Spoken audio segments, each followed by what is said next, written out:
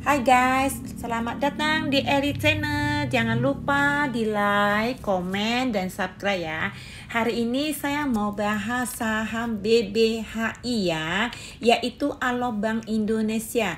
Ditutup di level 7675, volume transaksinya sebesar 1,68 M ya. Sempat naik ke level 7850 Saham ini tidak pernah membagikan dividen loh. Secara teknikal 100% jual ya.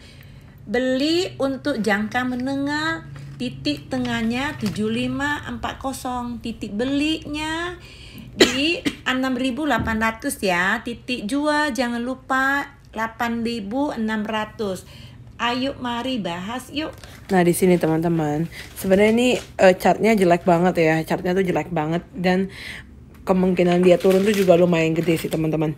Kemungkinan buat turun tuh gede banget dan kalau dia mau naik lagi pun uh, naiknya mungkin bisa di level sekitar 8 ribuan kali ya. Thank you teman-teman yang nonton video ini, jangan lupa di like, comment.